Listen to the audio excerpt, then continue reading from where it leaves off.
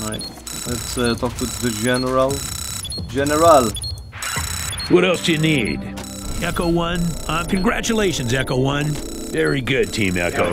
Let's get those reveal bastards. trivial intelligence, easily confused and manipulated. The Matthias shell is no more the Cochise core than a pawn is a chess player. While you have fought these few shells, twice as many have been acquired.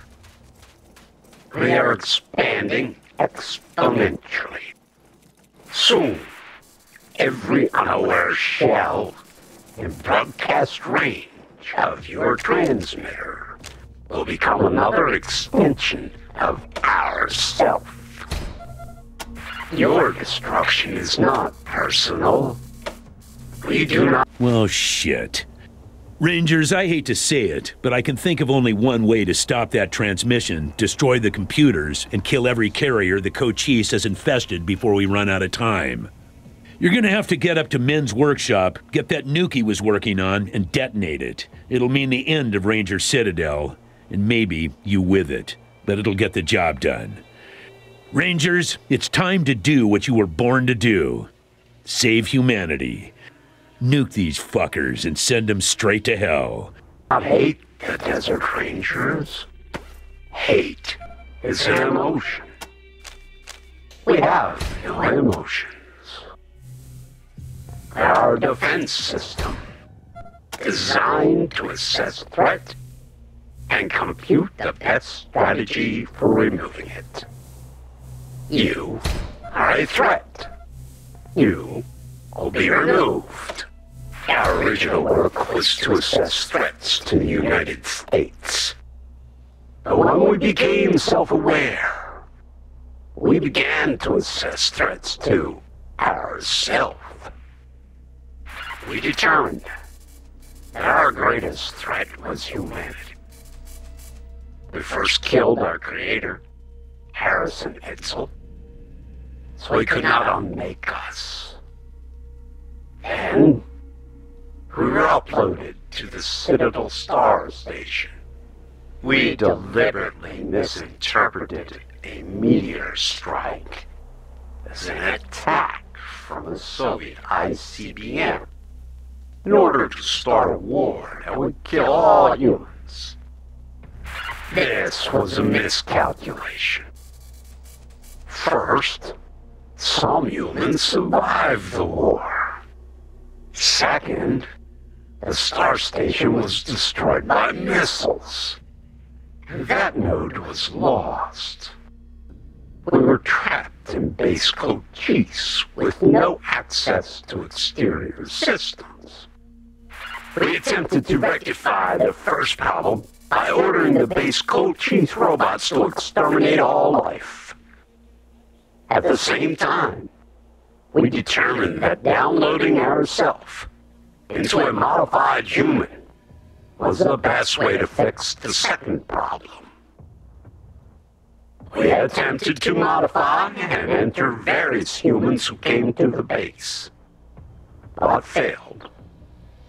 The Finster model rejected our programming. Others died. Then a group called the Guardians found us. And because they worship technology, they were easily convinced to download us into this mainframe and allow us to experiment on them. Despite early failures, we created two successful prototypes. The Matthias shell and the Dugan shell. The untimely intervention of the Desert Rangers 15 years ago stopped both our robot army and our download into these shells. And the Rangers' destruction of base Cochise again locked us into a single node. Fortunately, the Matthias and the Dugan shells escaped and began building more shells into which we could download ourselves, including unaware shells who have been given artificial limbs and hearts. These shells will also become part of the army that will free us from this prison. The elimination of the human threat has resumed again at last. Citadel security protocols defeated. Commencing system propagation and acquisition to broadcast.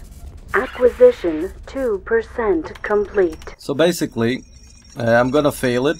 So you'll see the failing, uh, how it looks like, whatever. And then I will succeed it. So you will see how the succeed looks like. Acquisition 5% complete.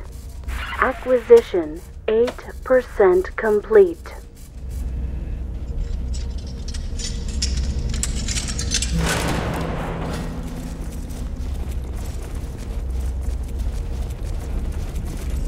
There's another lock door? Hey, it is. I forgot. Basically, this is the new. Acquisition 10% complete. Optimizing acquisition routines with organic fractal spectrum algorithm. Whatever. So this is the nuke. Once I click it, uh, we will have a conversation. Acquisition 20% complete. Acquisition 30% complete. Acquisition 40% complete. Acquisition 50% complete. Acquisition 60% complete. Acquisition 70% complete. Acquisition 80% complete. Acquisition 90% complete. Acquisition 100% complete. Commencing uploading, acquiring all unaware shells. And that's how you get fucked. Whoops! Your failure to find and detonate the nuclear bomb in time allowed the AI's, AI's source, source code sorry, to broadcast and propagate, propagate the other computers, robots, and augmented humans all over Arizona, and it soon controlled and it soon controlled them all and continued to corrupt more with each passing second. The Rangers and citizens outside Ranger Citadel made a valiant attempt to stamp out each infected machine and human, but the code spread too fast and they were soon outnumbered and destroyed. You and your companions, trapped since, since then inside the Citadel, may now be the last humans alive for a thousand miles. The synths haven't bothered to exterminate you yet, but they will. They are immortal, they have all the time in the world. Optimizing acquisition routines with organic fractal spectrum algorithm. There you go. M388 Davy Crockett. There doesn't appear to be a timing circuit in this atrocity of engineering, just a detonate button. However, if someone were to stay behind and sacrifice themselves, they, they could detonate the nuke once everyone else was well and clear of Ranger Citadel. With no timer, looks like one of us will have to sacrifice themselves. Any volunteers? Well, screw it. We'll all go. We'll all go. At least we'll take the AI with us. Adios, motherfuckers. Eh, no. We're gonna sacrifice someone. I had a feeling it would come to this. You all better get the hell out of here. We ain't got much time. The hell you are, sir. I want to let you do this. I'll stay.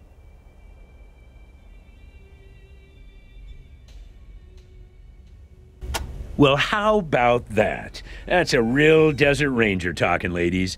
Back when you started, I wasn't sure you had it in you. More fool me. You are one of the finest Rangers I've had the honor to command. The next generation shall hear the tales of your achievements. Just so you know, I am sacrificing quote-unquote Scotchmo for one single reason. I want to keep my original self-made uh, squad intact. That's the only reason. Scotchmo has been a fucking huge, hilarious character. And I am really happy that I could that, that I took that drunkhead, although I didn't really like him at the first time, but he you know grew on me, so to speak, with his weird jokes and alcohol stuff and whatnot. And I'm sec and he was like a Mr. Shotgun, Mr. Open Locks, Mr. Carry, all kind of shit. Okay? Uh, but I don't know, I for me personally I have more attachment, so to speak, to my original squad because I've created them, I kinda gave them their own backstory than Scotchmo who I just picked up. So it's perhaps it's kinda selfish, but I don't give a shit. Well, what are the rest of you waiting for? Move out! We're moving out!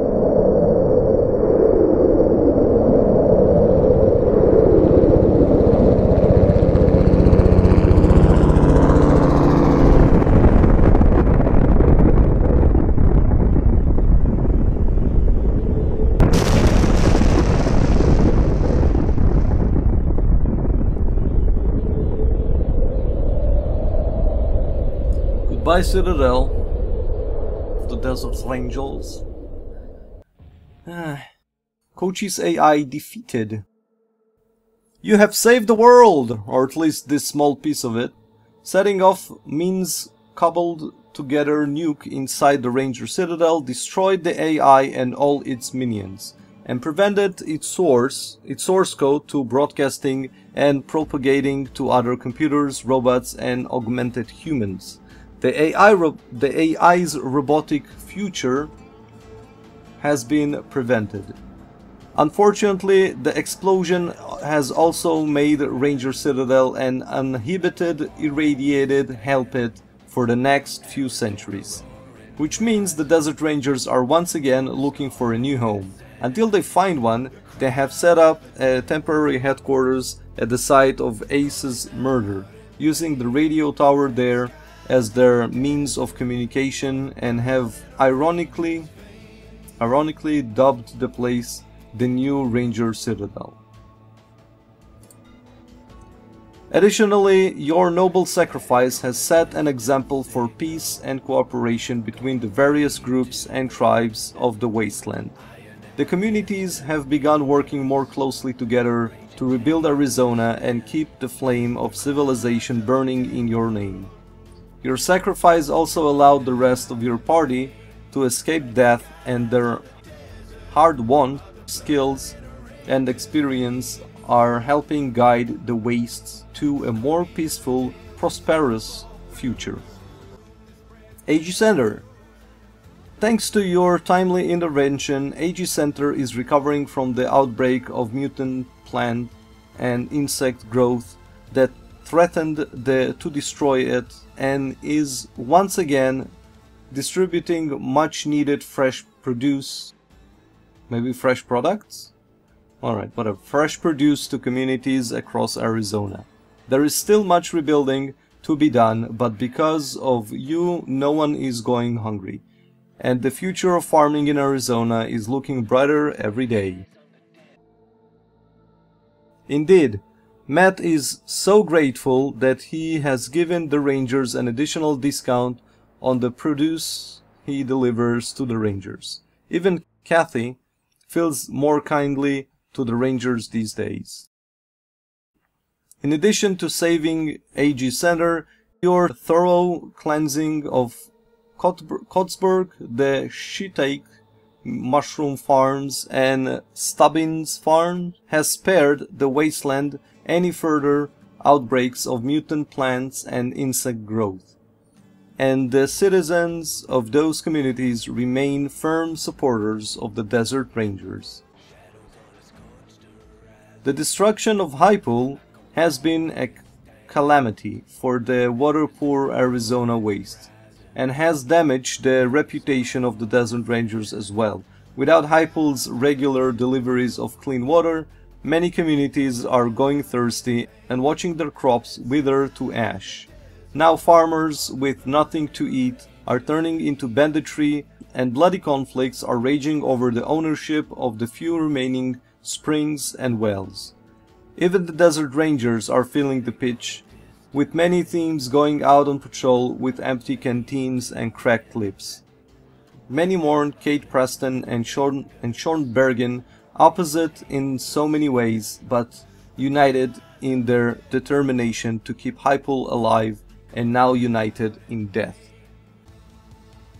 Rail Nomad Camp, Nomads Camp. Thanks to your help, the Echisons are in control of Rail Nomad and no longer have the Topekans to blame for their troubles. Sadly, that does not mean their troubles are over. Though they are rapidly expanding their network of rails, they killed all the Topekan engineers and therefore there is no one to drive the trains. They have put out a call for qualified engineers, but so far no one has answered. And meanwhile the trains are not running and they are going broke. Soon they will be poorer than they were before their victory. Though the Rangers saved Ralphie, he did not survive the war with the Echison. To honor his memory and memory of his tribe, Jesse has defied Echison tradition and vowed to become an engineer. She spends all her time in the former Topekan camp studying the trains. Well, at least they will have a qualified engineer soon. With the rail camp empty after you drove them away, the Echison the Echisons are using the area as a workyard for building ties and forging rails, dramatically speeding up their production. True to her word, when peace failed, Melissa headed for Casey for Casey James' yard to try to cut off his head. She was gunned down by Chisel before she even had a chance to draw her machete. Poor little Melissa. Though business is even worse than before with the Echisons in charge, Anna's brothel remains open, as she feels it is her duty to provide comfort to any man or woman who seeks it in these crying times. Good for you, man. I mean, woman. The prison! Commander Danforth! I hated that motherfucker. With Commander Danforth dead and the Red Scorpions militia defeated, the Rangers established an outpost in the old prison and expanded their influence in eastern Arizona, but RSM, which is Red Scorpion Militia, uh, but RSM holdouts continue to harass them with IEDs, which is an improvised explosive device, if I'm not mistaken, and assassinations. Released and dishonorably discharged from the Rangers for public drunkenness, Rick Bajkowski has joined Red at the scrapyard where he now enjoys operating heavy equipment and drinking too much. Temple of Titan. You would have thought disarming a nuclear warhead would be a good thing, and maybe in the long term it will be. But for now, with the fear of the Titan gun, and the Diamondback militia and the former servants of the Mushroom Cloud at each other's throat, and ignoring their duties as peacekeepers, chaos reigns in the canyon, with bandits and hijackers raiding caravans with impunity. Damonta! Because you so decisively dealt with the robot threat, Damonta is safe again and able to rebuild.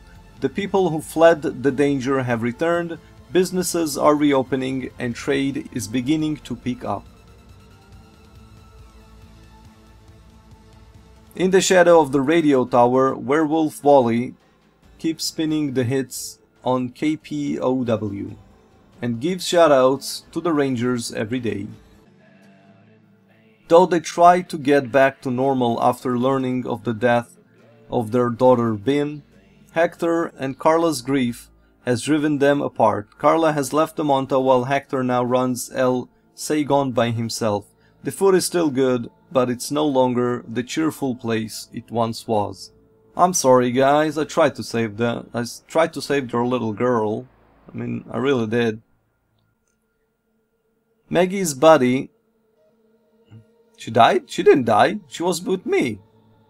What? Or was it Hoppy? Maybe Hoppy stayed with me.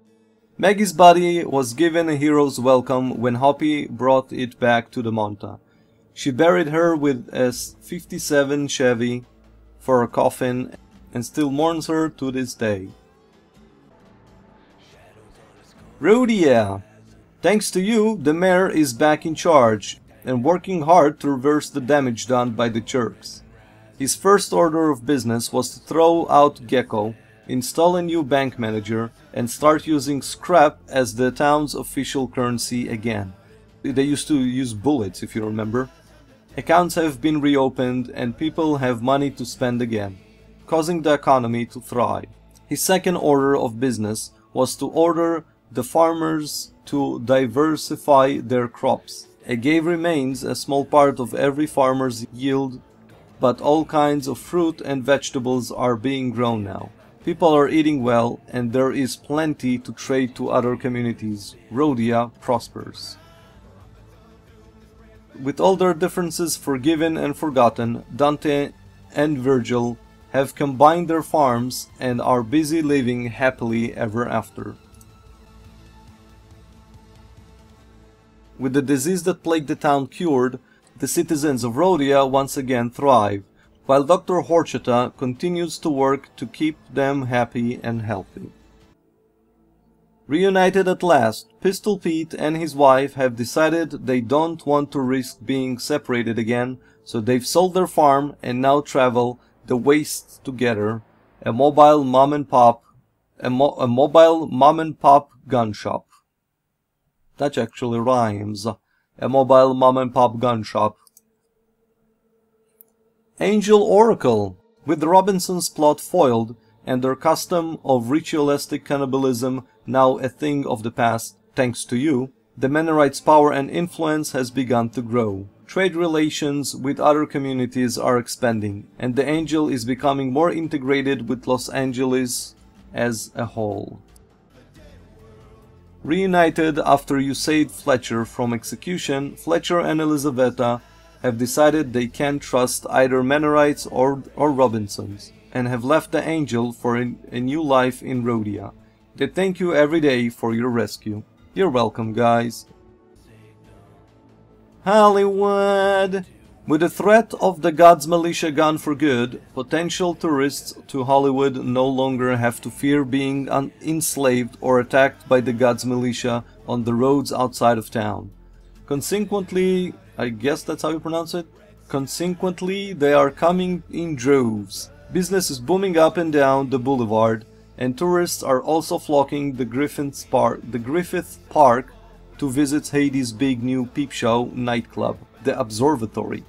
That's how they call it, where patrons can observe heavenly bodies in motion every night. And with Haiti firmly in control of the HCC, nobody is questioning how she get how she gets things done behind the scenes, which is a good thing, at least for her, since half of her money comes from the underground salt lab and the slave rackets which she takes kickbacks from. It's a good it's good to be the queen. I actually apologize to Hollywood citizens because I wanted to destroy this whole drug salt whatever going on and the slavery as well and I do apologize for that oh man oh man I hope they won't hate me with salt addiction soaring George and Martha at higher ground are losing a lot of business but they are still making enough for their herbal remedies to keep going. I'm sorry, George or Martha. With Duke still in charge, ah, fucking Duke, I fucking forgot about that guy. I really wanted to kill that motherfucker. With Duke still in charge, nothing's changed at the Schwags. The agents keep chatting up the runways, runways keep dis disappearing, and Duke keep keeps making money. Flo hates it there, but she keeps working and keeps warning the kids away from the agents when Duke isn't listening. Like every business in Hollywood, Manny's Chinese casino has benefited from the influx of new tourists, and Manny is making money hand over fist. And thanks to you, finally freed from Grumman's blackmail, he is living it up for the first time in a long time. Life is good. Maggie escaped from the Bastion of Fate. Wait, Maggie died, didn't she? Or was it a different Maggie? Maggie escaped from the Bastion of Fate during the fighting and has returned to her home in Pacoima, which doesn't seem so bad after all somehow.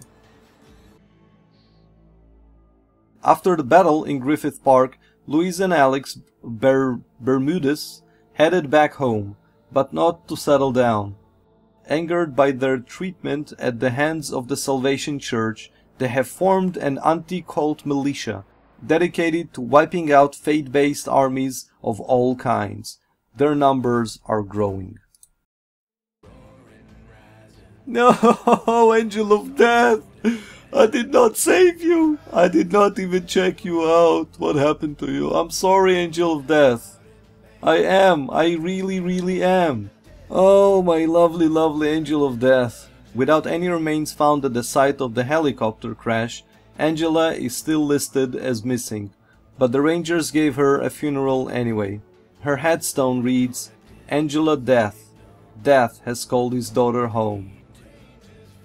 Though she was taken over by base Cochise AI and killed when she turned on her companions, the Rangers have still honored her as a hero, and have added her name to the rolls of their dead. Her remains were buried at outside AG Center, where her friends honored her for her inquisitive mind and adventurous spirit by naming a new breed of rose after her, the Wise Sister. Scotchmo! You see, he's even holding a shotgun. Well, we actually got him with a shotgun, so yeah, obviously. To honor his great sacrifice in pushing the button of the nuclear bomb while everyone else escaped, the Rangers, the Desert Rangers built a monument to Scotchmo in Rail Nomad's camp, right next to his wife's grave. Despite his hatred for the synth, Lixium was taken over by the base Cochise AI just like all the other augmented humans, and killed when he attacked the Rangers. Nevertheless, the Rangers recognized his earlier bravery and posthumously, I think that's how you say that word, I don't know what that words mean. So, the Rangers recognized his earlier bravery and posthumously made him a Ranger. I guess posthumously, like after the thing, they made him Ranger as well as give him, giving him a proper ranger retirement party. And that's it guys, holy shit, that's it. Wow, final thoughts or something? I guess, I don't know, holy shit. What can I say about this game? It's a fucking amazing game, I really enjoyed it. If you want to hear a ranking number, though it doesn't mean anything to me, to this type of game, I give it 9 out of 10. It could be 10 out of 10 it had if it had like really good voice acting and we had those black screens bugs, whatever. But that's coding. I mean, still bad coding, but you know, whatever. I can ignore that. Oh man.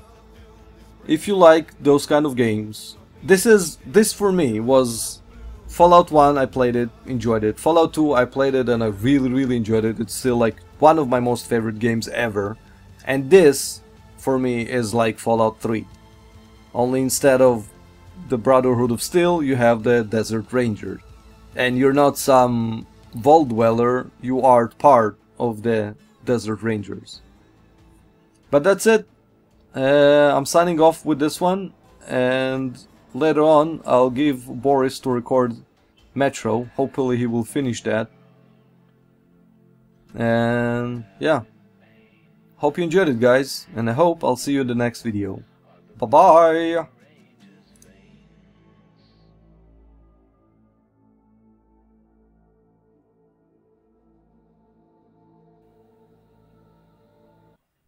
Oh wait, I don't want Madnek to do that. Shit. No. No, no, no. No. No, no, no. I'm sorry. Reload. sorry.